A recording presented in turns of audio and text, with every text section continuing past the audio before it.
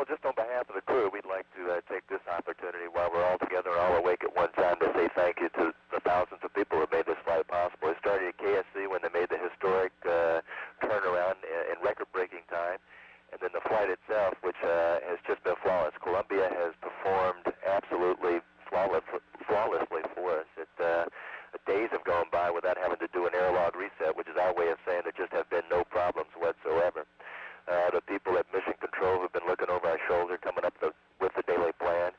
And uh, we were talking yesterday to them. It, that has been so smooth that we simply haven't had to talk to the ground a whole lot to Mission Control, uh, which makes it seem like there's nothing going on. What it really means is that the plan that they come up with every day, we execute it, and uh, we don't have a lot of questions or a lot of problems with it, so we can press forward.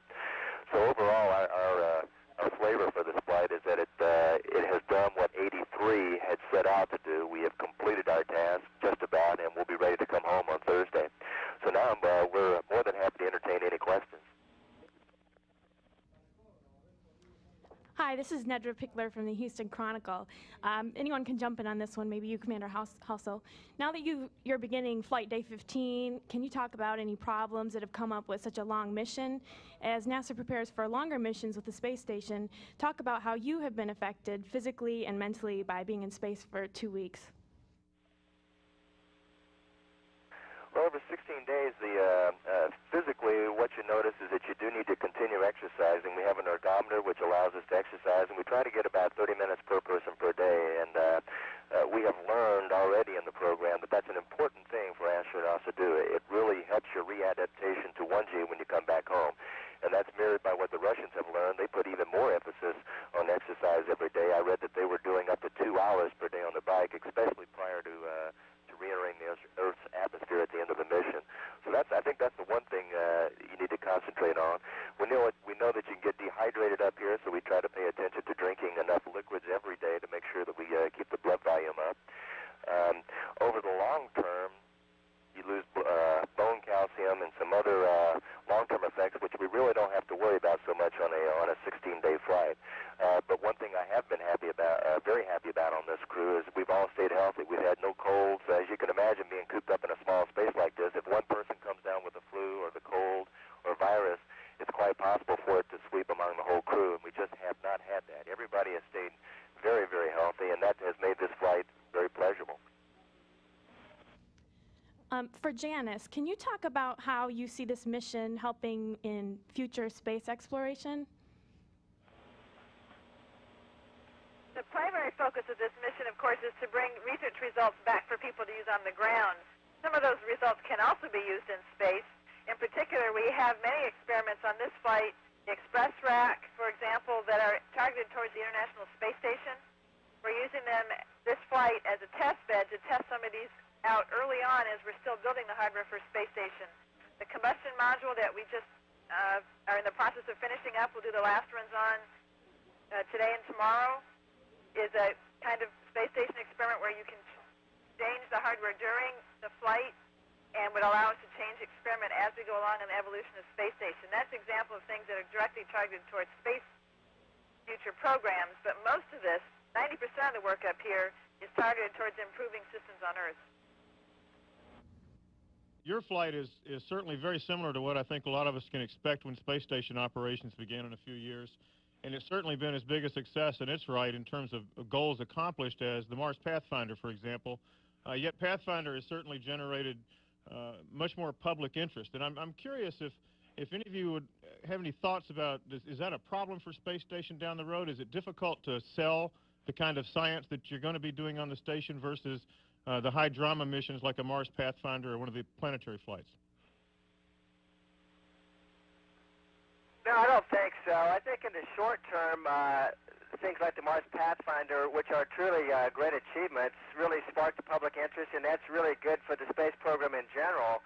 Uh, as we start building the space station, I think you'll see a lot of public interest. And then as the science results start feeding back into society on Earth and really improving the quality of life, I think people will really come to appreciate just exactly what we're doing in space and what a fine investment in the future of the country and the world that it is. Just looking back at the at this flight, which has been obviously a, a major success, I guess, for you guys in terms of your of your goals. What is the significance of it long term? I realize you don't have results yet, but I'm thinking in terms of is this an incremental step forward in the kind of research you're doing? Are you making major steps forward? Um, how, would you, how would you describe the, the scientific significance of it? Thanks. The nature of research in general, not just in this program, but in all over the research programs everywhere, is an evolutionary process. You build on the research that came after you, and you feed to the that came before you, and you feed to the research that comes after you. And this flight is a perfect example of all those various ranges. The combustion experiments, by and large, on this flight are first-time flyers. We're doing very basic research that's never been done anywhere else before. Some of the experiments, like the protein crystal growth experiments, are one of a long series that started way back in the early days of the space program and built on ground-based research and continues to build on new ground-based research.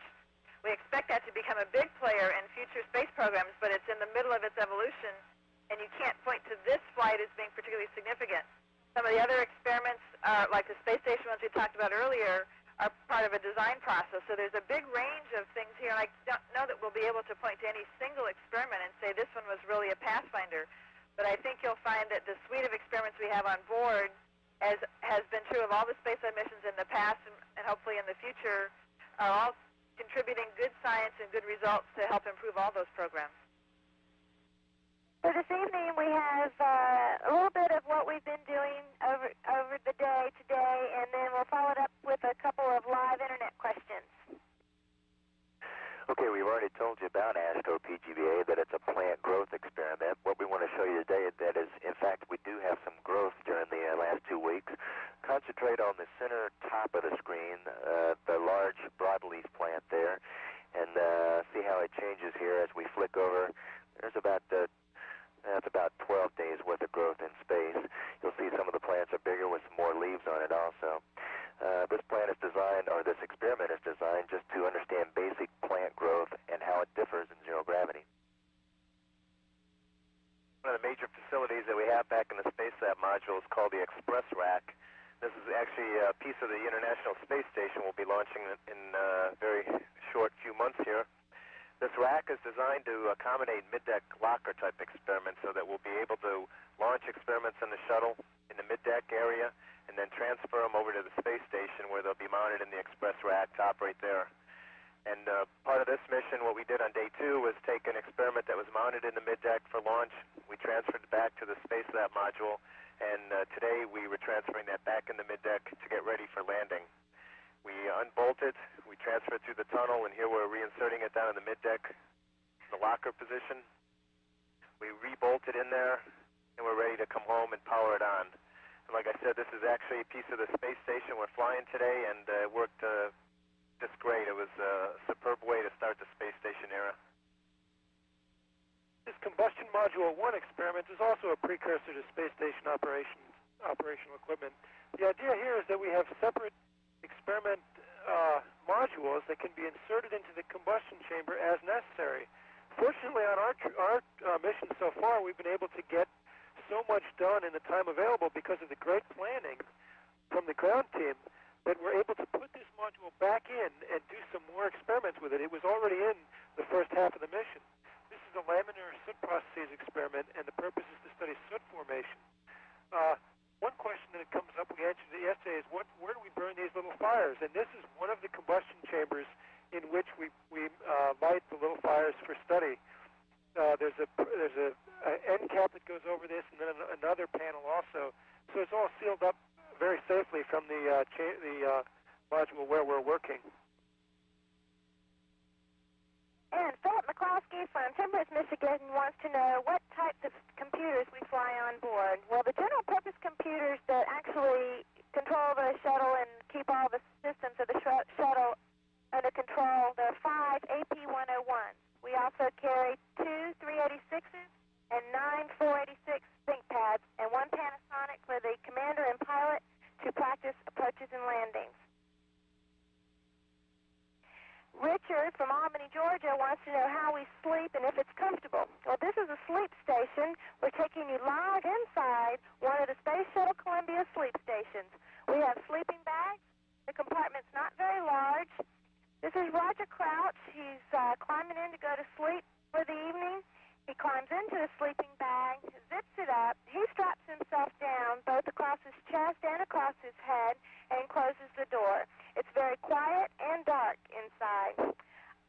I find this very comfortable. I do not strap myself down. I float around inside all night. So sometimes it can be difficult finding the door in the morning because it's so dark in there.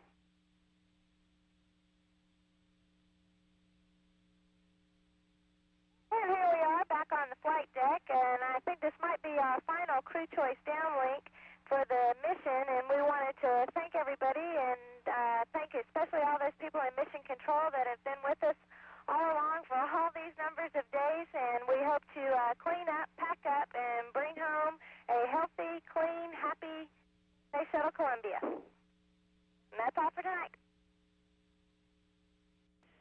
Columbia Houston, we copy all, and I especially appreciate a very healthy Columbia. And also for the rest of the team, we appreciate all the great downlink you've given us. You've, we feel like we've been on board right with you. Thank you, Kay, and uh, have a good day, and we'll see you in a couple of days. Hello, this is Dan Goldin. Who am I speaking to?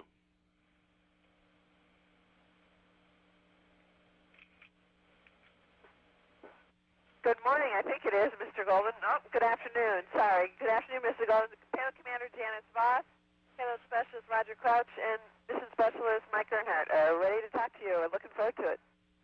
Roger is upside down again, or is he right side up? It's all a matter of perspective, sir. Well, let me turn it over to the senator. Uh, you're his constituent, and I think he'd like to talk to you.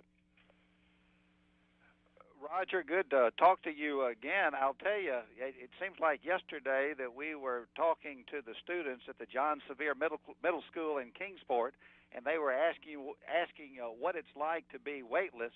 And looking at you upside down, uh, I'll have to ask that question once again for them. What's it feel like to be talking upside down?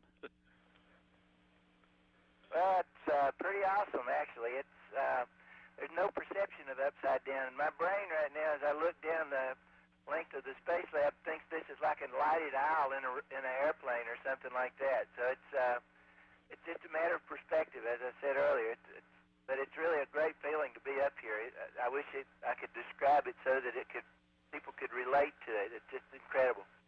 Right. I need to do two things. I talked to to your mother about 30 minutes ago uh, in Fentress County, and she said that she talked to you last week, but the, as you were flying over Africa, you went so fast she didn't get a chance to say I love you. So I'm going to pass that on, and that she's counting the hours till you get back home. So I'm going to get that in real quick. Real quick. Well, I really appreciate that, and Mom's really been tracking this thing, so I'm sure she's keeping everybody straight back there in Tennessee. Oh, great, Roger. Listen, uh, I did also talk to one of the students that you and I talked uh, by video conferencing when you were in my office, and we talked back to Tennessee.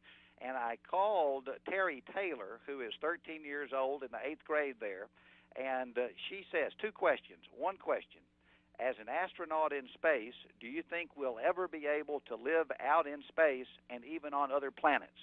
I'll let you answer that one first. I think certainly we'll be able to live in, in space. It's incredible how the body can adapt. You, as a doctor, know that the that the body is an incredible miracle almost every day. The way that it copes with things. And coming to space is not a problem. The only problem is the shock of going into and out of a, a severely different environment like 1G and low G. So, but when you're here, it's just it's just a great feeling, a great place to be. Other planets, I think, will be the same issue that There'll be the travel to that planet where your body will acclimate to space and then, or low gravity environment, and then uh, acclimating to the G level on that planet will be a, a shock for the body, but the body will adapt to it quickly, I think. Well, that that is great, and I'll I, hopefully she's watching this right now, and I'll pass that on to her. She's going to be going to space camp in Huntsville later this month, and she asked me to ask you if you feel that this was a good learning experience for kids to learn what astronauts do. That is going to space camp. I'm going to let Janice Voss answer that. She's familiar with the space camp. I think it's a great opportunity, but here's Janice. Senator, I get that question a lot from the children that I talk to on the various public speaking things that we do. And I've never been to Space Camp itself because that program came into effect after I was past that time frame. But I have talked to many, many children and parents who have been through that program. Some have been through the program several times, and they all come back very excited and, to my mind, have a much better appreciation for what we do up here. It's a very well-run program, and it, the kids that go through it get a lot out of it.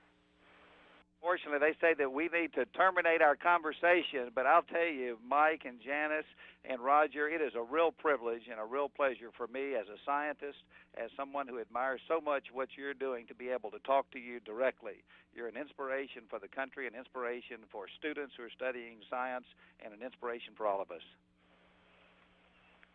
Well, thank you very much, Senator, and I really appreciate you taking time out of your busy schedule to call us today we know that you're a very interested person in education in the country, and one of the things that we're real interested in is contacting the children and getting them interested in science and education. And we think the space program has a real mission in that field.